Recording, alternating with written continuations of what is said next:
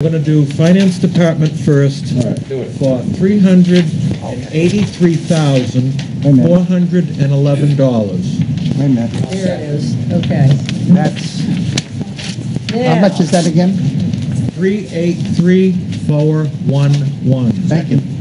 You're welcome. On OBS three. OBS three. I lost my pen, did you miss?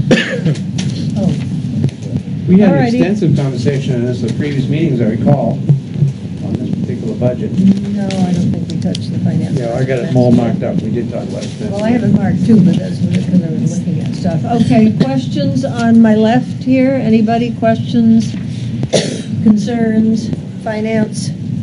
Yeah, let's vote.